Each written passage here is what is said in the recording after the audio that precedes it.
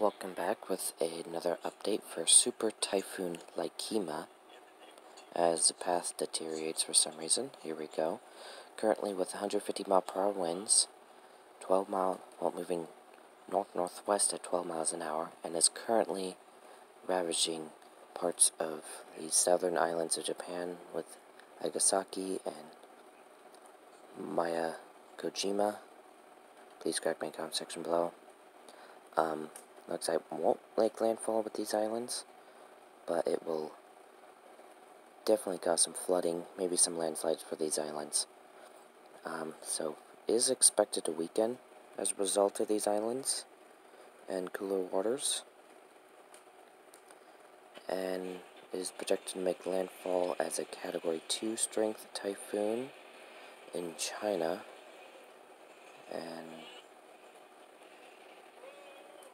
comes a tropical storm over Shanghai, so pretty much projected to become a typhoon all the way up until Shanghai, and able to maintain tropical storm strength all the way through Linhe,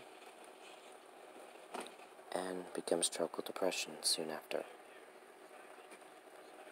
So, with that, that's it.